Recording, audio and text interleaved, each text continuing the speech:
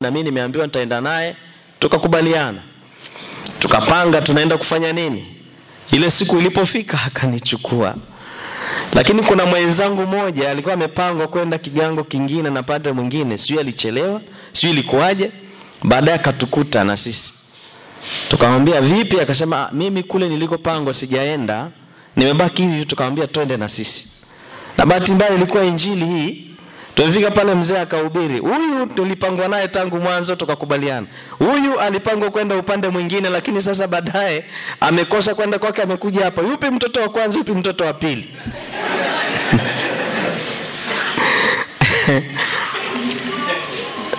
Sasa lakini mimi nilikuwa wa kwake tangu mwanzo, alafu yeye amekuja kuingia tu hapa, sasa basi tumfanye na huyu naye, sijui ndio awe mtoto wa pili au wa kwanza.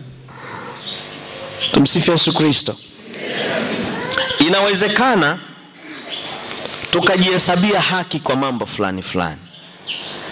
Inawezekana tukajihesabia haki kwamba tunaweza na tunafanya vizuri, lakini bila neema ya Mungu hatuwezi kutenda yale ambayo tunahitajika kuyatenda. Na usipitwe, mwambie mwenzako usipitwe, mwambie mwenzako usipitwe. Ninawaombeeni tusiwe mtoto wa kwanza wala mtoto wa pili, tukawe mtoto wa tatu ambaye ni Bwana wetu Yesu Kristo, na neema hiyo ikabaki na ninyi siku zote. Somo la pili, somo la pili linatoka kwa Wafilipi. Mtume Paulo alipokuwa anawaandikia Wafilipi ameeleza mambo mengi pale, unyenyekevu. Jambo kubwa alilolieleza hapo ni unyenyekevu na unyenyekevu ndio unaomfanya mtu atekeleze yale anayoambiwa atekeleze. Kama sina unyenyekevu na kukubali, siwezi kutekeleza kile ambacho ninachoambiwa nifanye. Yule mtoto wa kwanza aliambiwa nenda kafanye kazi, alikubali, hakwenda, alikosa unyenyekevu. Wa pili aliyeambiwa nenda kafanye kazi, akasema siendi, alikosa unyenyekevu baadaye akaenda. Bwana wetu Yesu Kristo, wakati ulipofika, alipoambiwa na Baba nenda, alikuwa mwenye unyenyekevu na akaenda mara moja, na akashuka duniani mara moja akiwa amejaa unyenyekevu. Sasa ndiyo anasema Mtume Paulo, ikiwako faraja yoyote katika Kristo, yakiwako matulizo yoyote ya mapenzi ukiwako ushirika wowote wa Roho, ikiwako huruma yoyote na rehema, ijalizeni furaha yangu, ili muwe na nia moja, wenye mapenzi mamoja, wenye roho moja, mkinia mamoja. Tumsifu Yesu Kristo. Tunahitaji kuwa na umoja na Bwana wetu Yesu Kristo. Tunahitaji kuwa watu walio na umoja, sisi kwa sisi kwanza, ndipo tuweze kuishi pamoja na Bwana wetu Yesu Kristo katika ule umoja wake. Msitende neno lolote kwa kushindana wala kwa majivuno, bali kwa unyenyekevu kila mtu amhesabu mwenziwe kuwa bora kuliko nafsi yake. Ndivyo tulivyo, ndivyo tulivyo. Nairudia hii sentensi, msitende neno lolote kwa kushindana wala kwa majivuno. Na hapa pana kazi pia. Mara nyingi tunashindana nani zaidi mimi nifanye kitu ambacho watu watakikubali zaidi kuliko cha mwenzangu, na wakati mwingine nikiona mwenzangu anafanikiwa zaidi au anainuka zaidi, ninakasirika, nina wivu, nabaki kwenye mashindano na mahangaiko. Alafu anasema bali kwa unyenyekevu kila mtu amhesabu mwenziwe kuwa bora kuliko nafsi yake. Hili limekuwa gumu kwetu. Pengine imekuwa si rahisi kumwona mwenzako bora zaidi kuliko wewe mwenyewe. Tumsifu Yesu Kristo. Lakini ninawaombea leo, ninawaombea leo, walau kwa siku ya leo tukapokee neema ya kumwona mwenzako bora zaidi kuliko wewe. Amina. Ukimwona mwenzako ni bora zaidi, utamsaidia, utamheshimu, utampenda, utamjali. Anapokuwa na shida, utamkimbilia utamsikiliza anapokuja, kwa sababu unamuona anafaa kuliko wewe mwenyewe. Na mimi ninahitaji mtu anione bora, naweza nikajiona mimi ni bora zaidi alafu sintaweza kufanya mambo yanayotakiwa lakini nikikuona wewe bora na wewe utaniona mimi bora na mwingine atakuona wewe bora na wewe utaonekana bora kwa mtu mwingine na utamwona yule mwingine bora na wote tutakuwa bora. Amina haleluya. Kila mtu asiangalie mambo yake mwenyewe bali kila mtu aangalie mambo ya wengine. Wanatuambia ukitaka ushughulikiwe mambo yako shughulika na mambo ya wengine ukitaka usaidiwe mambo yako saidia watu wengine. Ukitaka wewe ufanikiwe hata katika sala zako ombea watu wengine. Sali kwa ajili ya watu wengine. Ndipo neema ya mungu inapoweza kukufikia. Na ndiyo maana ya amri ile ya upendo. Tuliyotafakari siku moja hapa tunapokea sisi alafu tunapeana. Mimi nakupa wewe wewe unanipa mimi mara nyingine mimi nikijiombea nitajiombea yale ya kwangu ambayo yana ubinafsi pia. Lakini ninapowaombea watu wengine zile neema zinanirudia mimi pia. Kwa hiyo shughulika na mambo ya wengine naye mungu atashughulika na mambo yako. Amina. Mwambie mwenzako shughulika na mambo ya wengine pia. Na mungu atashughulika na ya kwako.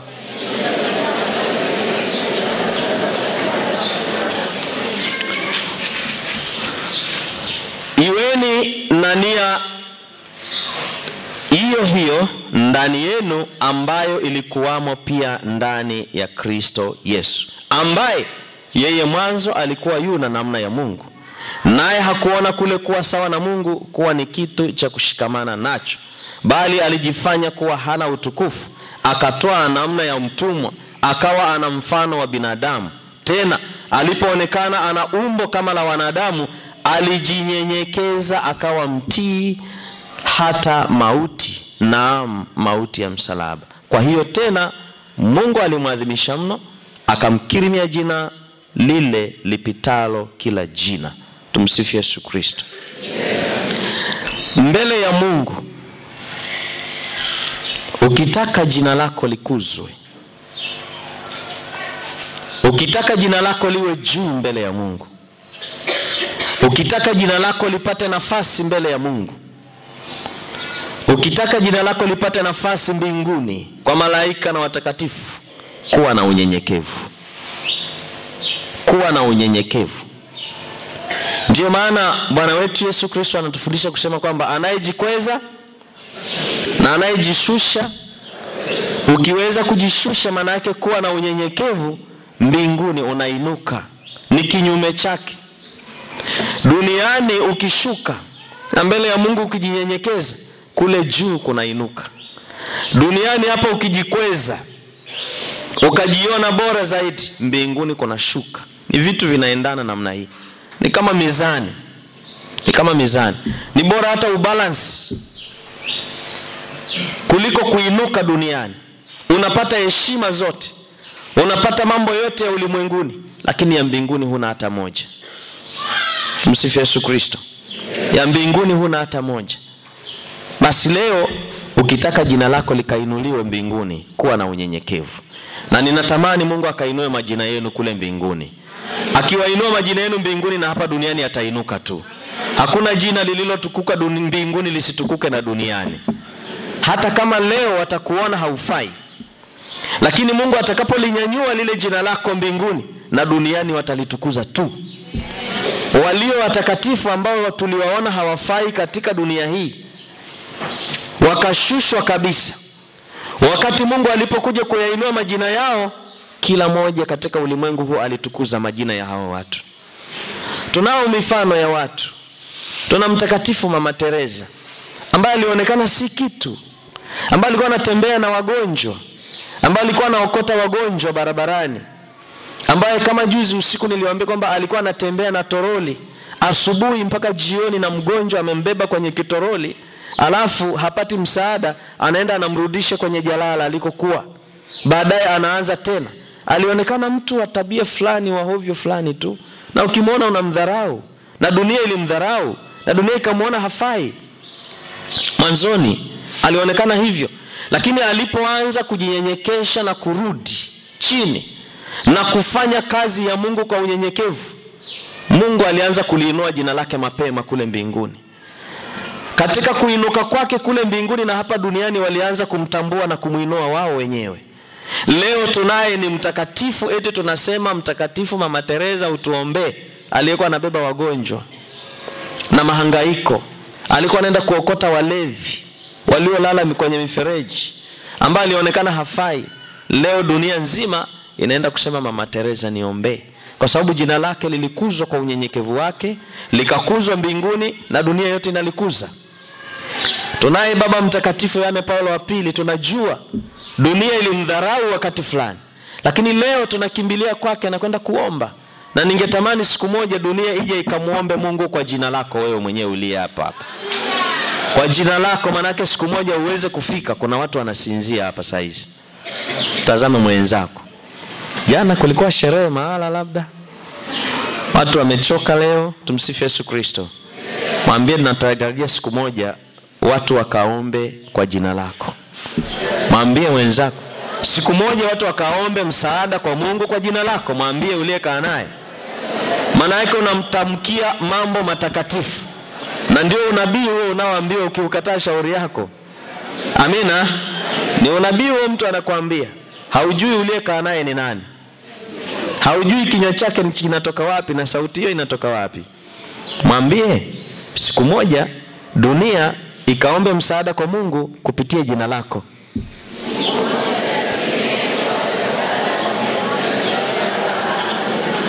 Unaonaje? Unaonaje?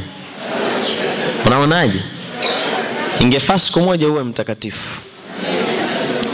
Ingefaa siku moja ufike mbinguni. Lakini kama tulivyoambiwa kwamba njia yetu sote ni kufika mbinguni. Na ingefaa basi tutafute namna ya kwenda pigania jitahidi. Fanya kazi. Fanya kwa bidii. Kuwa mnyenyekevu na jina lako litainuliwa na mwenyezi mungu. Amina. Lakini anasema mungu alimkirimia hilo jino lipitalo majina yote. Ili kwa jina la yesu kila goti lipigwe. Hii sehemu tumeitafakari mara nyingi sana. Tunapofundishana habari ya ubwana wa, wa, wa yesu kristo tunasema tunazungumza sana habari. Ili kwa jina la yesu kila goti lipigwe. Na hapa hakuna uchaguzi. Hakusema magoti ya wachache. Hakusema magoti ya watakaomkiri tu. Hakusema magoti ya wakristo. Kila goti ni amri. Mara nyingi nimekuwa nikiwasimulia hapa juu ya habari ya, ya, ya mtakatifu antoni wa padua alivyowahi kufanya mashindano na mtu mmoja ambaye alikuwa ni mpagani anakataa habari za yesu kristo. Na namna ambavyo yule mtakatifu antoni wa padua baada ya kushindana wakaamua kusema kwamba nyumbu mnyama anaitwa nyumbu atakuwa mwamuzi wa kusema kwamba yesu yupo kweli ama hayupo. Tumsifu yesu kristo. Yule mtu wa yule baba aliyekuwa kama mpagani hivi haamini sana. Alikuwa tajiri alikuwa anafuga wanyama nyumbu. Na wakakubaliana kwamba yule mnyama atafanya mafungo ya siku tatu atanyimwa chakula siku tatu bila kula wala kunywa. Na siku itakapofika wataenda kumleta yule mnyama uwanjani. Na watu walijua jamii yote ilijua kwamba kuna mabishano kati ya mtakatifu antoni na yule bwana. Alikuwa anaitwa Bonneville, na kwamba mnyama ndiye atakayeamua mabishano yale. Atasema atafanyaje haieleweki. Siku ilipofika baada ya yule mnyama kunyimwa chakula na maji siku tatu usiku na mchana aliletwa kwenye uwanja na watu wakakusanyika watu wengi alafu yule bwana akaja na chakula. Yule mnyama anapenda sana majani ya ngano. Akaja na majani yake ya ngano na maji vizuri. Kwa vyovyote yule mnyama ambapo ni chakula chake na hivi hajala siku tatu usiku na mchana atakimbilia chakula sio mara moja atakimbilia. Na upande mwingine alitokea mtakatifu antonio pado amebeba ekaristi takatifu. Amebeba ekaristi takatifu. Yule mnyama alipomwona mtakatifu antoni na ekaristi yesu kristo alipomwona yule mchungaji wake na chakula alimwacha yule mtu wa chakula pamoja na njaa ya siku tatu siku na mchana na kiu yote na kila kitu, akamgeukia Yesu Kristo katika Ekaristi Takatifu, na yule mnyama akakunja miguu akapiga magoti mbele ya Ekaristi Takatifu. Amina.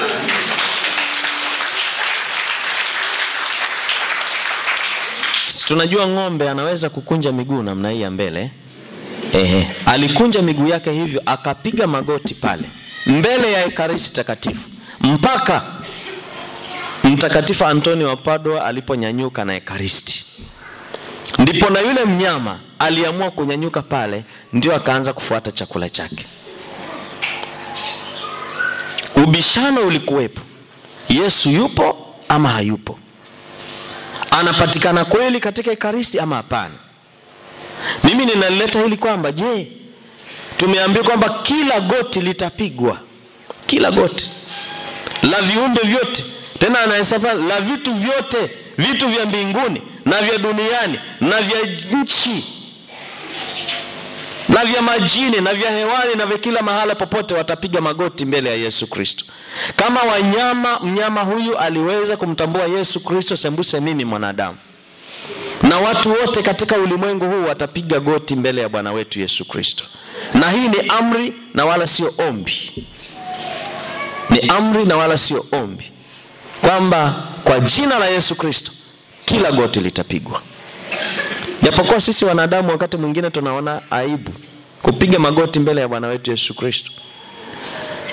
Nakumbuka askofu wangu aliwahi kuwa mkali, akasema tunapokuwa mbele ya Yesu Kristo, hata kama ni kwenye matope, piga magoti mbele ya Yesu Kristo, hata kama ni kwenye tope, piga magoti. Wengine nasema suti yangu itachafuka. Suti yako ni bora kuliko Yesu suti si unaenda kufua, nguo si unaenda kusafisha, kama ni magoti tutaenda kujipangusa. Yesu, wakati mwingine tunathamini vitu vingine zaidi, tunashindwa kumthamini Yesu Kristo. Wakati mwingine tunaona kwamba sisi ni bora zaidi kuliko Yesu Kristo, na ndio maana wakati mwingine hatumpi ile heshima tunayopaswa kumpa. Hadi wanyama watuonyeshe namna hiyo wapige magoti mbele ya Yesu Kristo, si tunamwona wa kawaida kabisa. Labda mtu anaweza akaniambia ah, magoti ya moyoni mwangu nimeyapiga, lakini ya mwilini sijapiga. Ukiniona nimesimama ujue moyoni nimepiga magoti. Ah bwana, tafadhali bwana, tafadhali bwana, tumsifu Yesu Kristo. Hebu tumpe Yesu heshima anayostahili. Unyenyekevu ni kitu kidogo sana lakini kina maana sana katika maisha ya mimi na wewe, hata katika ulimwengu huu na mbinguni pia. Unyenyekevu, viumbe vyote vitaenda kupiga magoti mbele ya Bwana wetu Yesu Kristo. Wanadamu wote watapiga magoti mbele ya Bwana wetu Yesu Kristo, wawe wachawi, wanga, washirikina, wezi, wapinga Kristo, wowote watapiga magoti mbele ya Bwana wetu Yesu Kristo. Viumbe vyote Halo, viumbe vyote, watu wote, hata wale wanaomkataa kwamba Yesu Kristo sio Mungu, siku itakuja watapiga magoti. Hata wakikataa kwa kumtaja tu kwamba Yesu Kristo, wamemkiri tayari. Wanapomtaja tu Yesu wamekiri. Tumsifu Yesu Kristo. Alafu anasema na kila ulimi ukiri ya kuwa Yesu Kristo ni Bwana. Mara nyingi sana tunamtaja Yesu Kristo, Yesu Kristo, lakini kukiri kwamba Yesu Kristo ni Bwana ni mara chache. Ninatamani dunia nzima ikamkiri kwamba Yesu Kristo ni Bwana. Ninatamani viumbe vyote vikakiri kwamba Yesu Kristo ni Bwana. Ninakiri, ninakiri kwamba kwa sasa hivi asilimia kubwa inamkiri Yesu Kristo ni Bwana, lakini na sisi tukakiri, na kukiri sio mara moja. Mtu mmoja anasema kwamba mimi nilishatoa maisha yangu kwa Yesu Kristo, mara moja inatosha. Sio, tunaingia tunatoka, tunaingia tunatoka, tunaingia tunatoka, na wote tunapaswa kumkiri Yesu Kristo kuwa ni Bwana na mfalme wa maisha yetu, na ninatamani leo tukamkiri kwa upya. Leo tukamkiri Yesu kwa upya. Tumsifu Yesu Kristo, tukamkiri Yesu kwa upya. Naomba tusimame.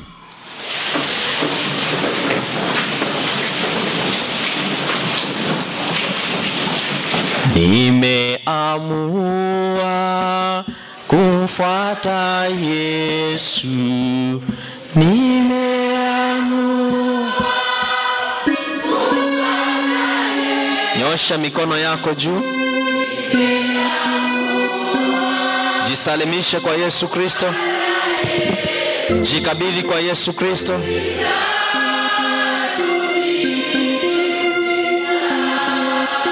Kwa imani kabisa, kwa utayari wa moyo kabisa, nimeamua, nimeamua.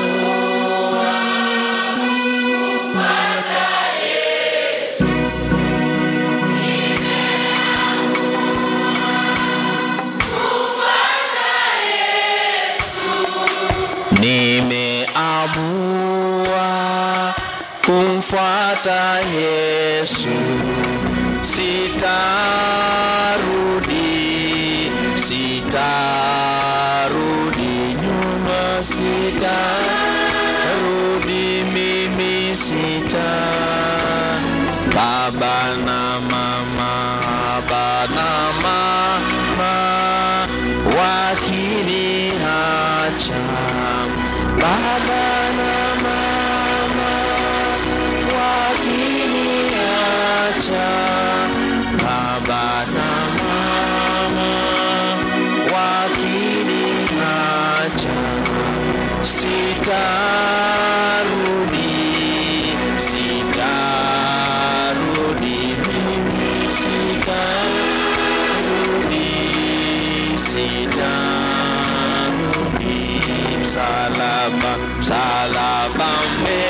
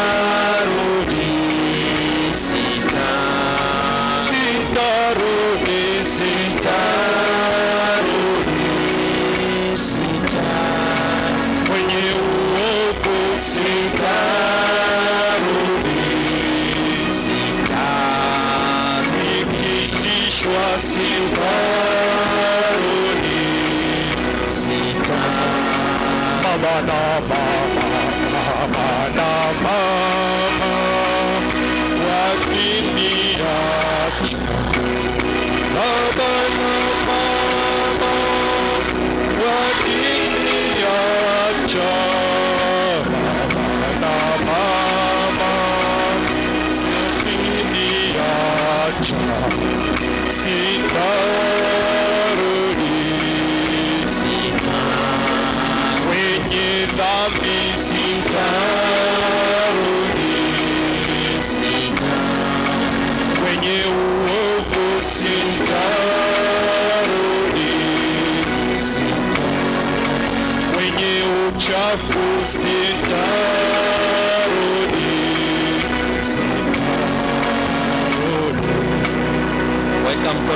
kushoto kwenye kifua chako au kwenye moyo wako, alafu mkono wa kulia unyanyue juu. Kwenye moyo wako, mkono wa kushoto uweke kwenye moyo wako, alafu mkono wa kulia unyanyue juu. Naomba utafuatana nami katika maneno haya, ni machache lakini yawe na maana katika maisha yako na yafanye kitu cha pekee kabisa katika maisha yako, na iwe kweli kuanzia leo, kweli uende mbele, usirudi nyuma na maneno haya yatoke ndani yako. Utayafuata, lakini naomba uyafanye kuwa ya kwako. E Mungu, e Mungu, neno lako limesema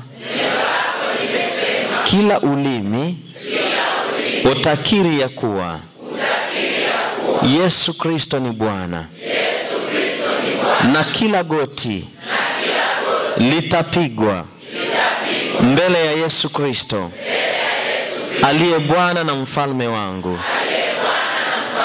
sasa hivi kwa moyo wangu kwa hiari yangu kwa nafsi yangu na kwa imani yangu yote nimeamua kumkiri Yesu Kristo kuwa Bwana na mfalme wa maisha yangu.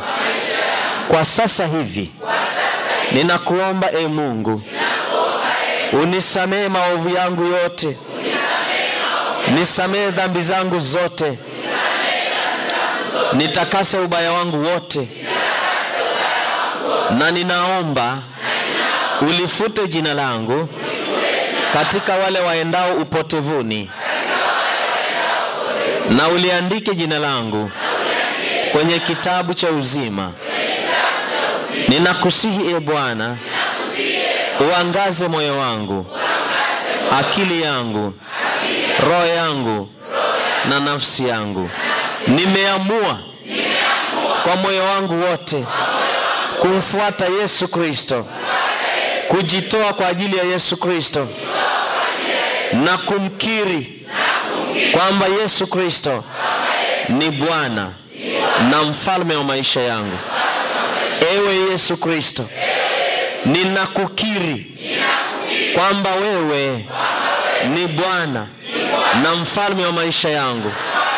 Ninakupa maisha yangu leo, ninakupa nafsi yangu leo, ninakupa vyote nilivyo navyo.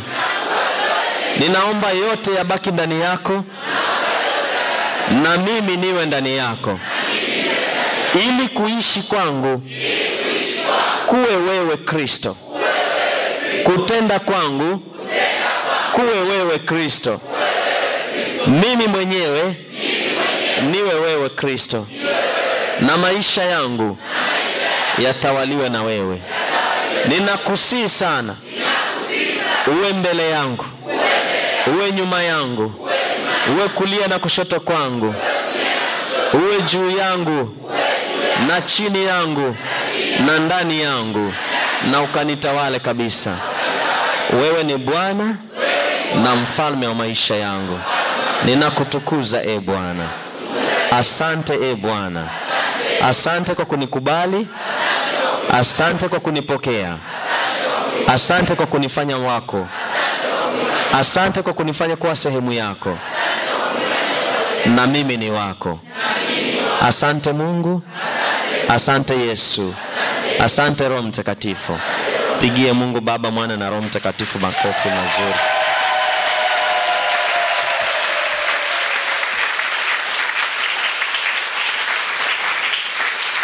na Mungu awabariki na mkaishi hiyo neema mlioipokea sasa hivi. Na ni ukweli kwamba kwa hii sala fupi mlioifanya, kuna watu maisha yamebadilika kuanzia sasa, na mtakuwa watu wengine tofauti.